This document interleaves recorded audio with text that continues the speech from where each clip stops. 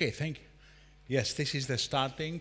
Uh, just to summarize, we have three documents, and uh, the documents are not ready now. We are still working on them, and the second document, as you may see, is Guide for Practicing Engineers. And who is a practicing engineer? This is the first question. So we have to address to practicing engineers. Uh, myself, I'm a practicing engineer, so um, I, in the beginning, so I was involved in this standardization working group five, and I was very much interested. I have some experience for, let's say, um, writing guidelines and so on, but this is something which is a frustrating work, I have to tell you, because you have all these theoretical parts, you have these examples which guide you, and uh, at the end you have to come up with something written, and we have 50 pages written. And then you come, you present the 50 pages, and John will tell you this is not very well written, and Sebastian will say something else is not very well written, and Michael Faber might also comment, and Helder might also comment. And the bad thing is, you go home and you think, and Johan may also comment, you go home and you, and you realize that they were right. So you have to rewrite it again. And this is a little bit, uh, you know, this is uh, for guidelines and so on. This is, and for practicing engineers is not, uh, let's say, always uh, very attractive work, but it is important probably for the project. We started three persons, but as I said, uh, there are also other colleagues contributing with comments and discussions. So my colleague Mirek Sikora from the Czech Technical University, he is not here, but Helder is here.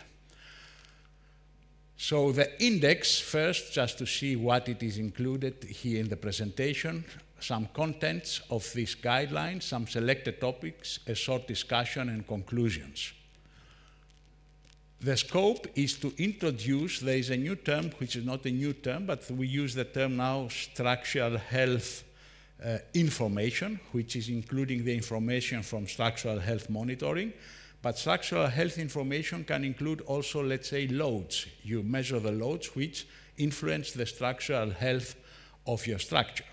We use it as a broad term, which means we, we include uh, not only monitoring, because if you go in other standards like uh, FIB and so on, you may find information uh, about non-destructive and destructive testing, and now they are putting also uh, structural health monitoring we, the description of the design process is important, a support for the selection of the structural health monitoring strategy, as we have seen before. So you have all these theoretical parts which you have to write down in some understandable and attractive way, which is, I have to say, not very easy. Integration into a state of practice, and then the impact on standardization, which I will uh, show you at the end. So the applications for, for what kind of problems is that, let's say, representative for new structures, especially innovative designs where the knowledge, as we have seen before, is not, let's say, always standardized. You cannot standardize all knowledge. This is also one point which has not been said here because we should not expect to have standards for everything. Then for existing structures, it was also mentioned before, we have frequently the problem of, for example, the, of lifetime extension.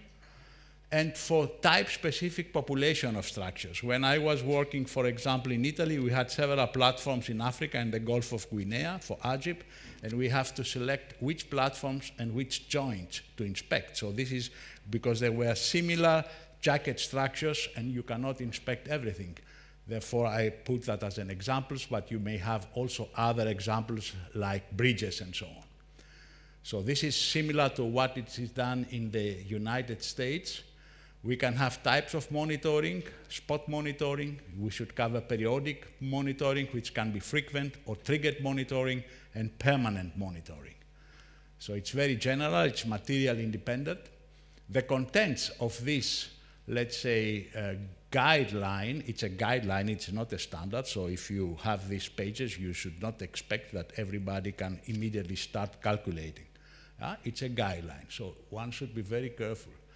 Uh, the glossary is important, as we heard before, so to def definitions, and we have uh, also in the web page definitions, and we try to be consistent. The scope, the decision process, the information which you collect about your structure, about your asset, the strategies, the structural performance modeling, including the indicators, the intervention actions and the safety measures. Life cycle cost modeling is covered and decision and value of the structural health information analysis.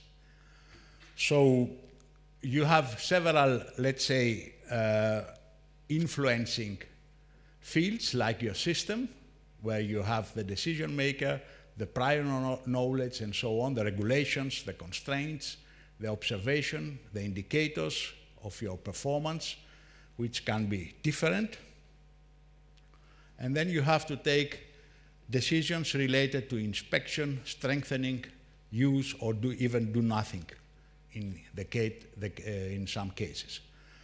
So if you look uh, at some decision tree analysis, you have the planned investigations. You can have you have a random outcome. So you you have uh, let's say probabilities of exceeding, in an example, a, a certain threshold level. Then you have the decisions to be taken. For example, safety measures, cleaning the roof in case of snow load, or uh, strengthening a timber beam, beam and so on and you have the outcome, and at the end you have your utility.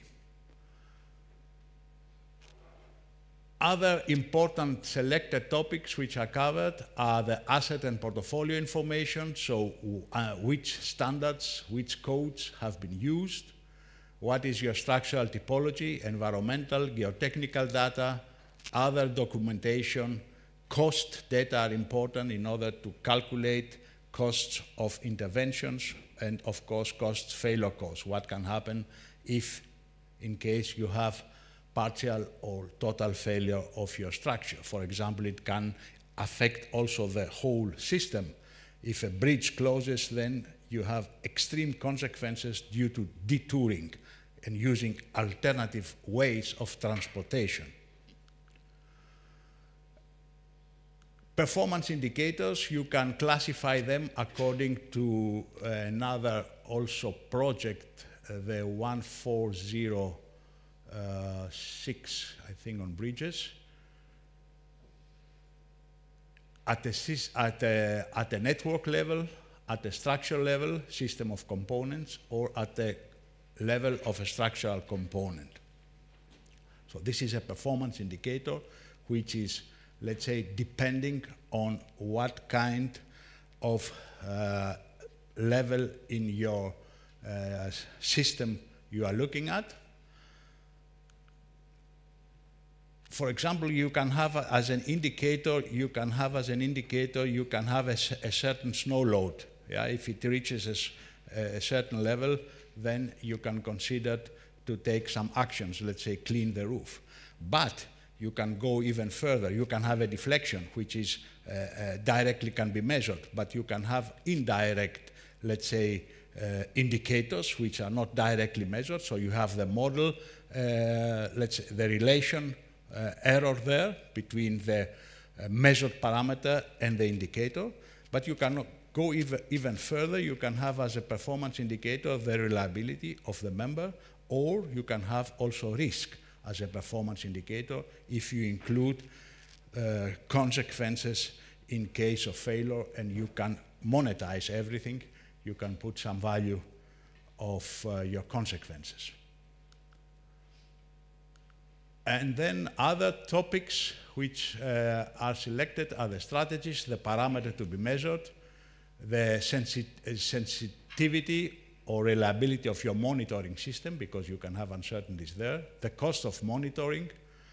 Uh, a typical, very simple example is that with a stadium roof, where, as Johan mentioned before, you can have three different alternatives with different costs and, of course, different uncertainties. Intervention actions are also described from doing nothing to operational measures, provide optimal inspection and maintenance plan, decrease exposure, you can limit the number of persons at risk, or you can limit uh, in a building uh, the live load, but especially typical example is a bridge where uh, heavy vehicles cannot pass. You can reduce the loads, as, as I said before. You can use the structure under constraint. Uh, for example, if uh, you have strong winds, you don't use the cable car when you go to Cape Town and you go to the Table Mountain, your chances are 50 50 to go up to the Table Mountain. Uh, you can provide additional safety measures, protection measures, and so on. So we provide how to select them based on cost benefit considerations. You can reduce the remaining working life and reassess and so on. So you can have also structural interventions like repair and upgrade your structure.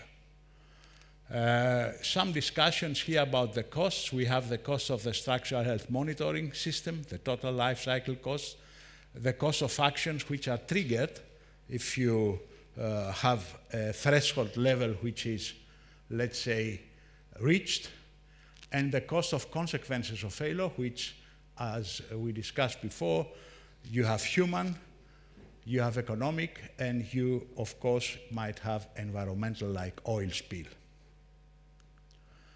And they have, we discussed that also in Lisbon, we have monetary terms and they must be discounted. The value of information, you have the expected value of information based on expected value of total life cycle cost without using structural health monitoring system and with using the structural health monitoring system, so you have the direct relation to the costs. We hope that these guidelines, all these three, will have some impact. Already an impact has started with a working group two. They will be included, monitoring will be included in the Eurocodes for existing structure, or at least in the first discussion in the meeting we have pointed that out. We have uh, other model codes like the FIB model codes where we also think that an impact will be there. The impact will be also in high failure consequences structures like stadium, congress halls, bridges, uh, structures in the energy power industry, maybe but in under-designed structures, existing structures using old codes, novel structures, and especially structures with high heritage value. The conclusion is we have a preparation of a guideline documents with terminology and compatible flowcharts. Uh, the development has been done through interaction with other working groups and especially by studying the case studies and looking at the methodologies. We had uh, specific meetings and workshops within our working group. We are focusing on quantification of information and on decision strategies cost versus benefit and decision of intervention actions are highlighted. And especially we try, we are trying to use a language which is attractive for the practicing engineer to make him uh, interested that he will use further tools uh, in that case or in his specific case. Uh, okay, uh, Johan mentioned some publications which are related to the case study, but in the framework of this guideline. Uh, outreach is important. We discussed that. I think uh, outreach, especially in consultancy cases, in committee work, but especially in the education of young engineers and young students, not at the PhD level, as I emphasized before, but even at an earlier stage, is, according to me, important. So I close the presentation. This is the city where I teach. This is Regensburg. This is a very uh, a flooded level of this stone bridge, 800 years old, with restricted traffic and permanently monitored. And this is during the night at a calm water, uh, water level, let's put it like that. Thank you very much for your attention.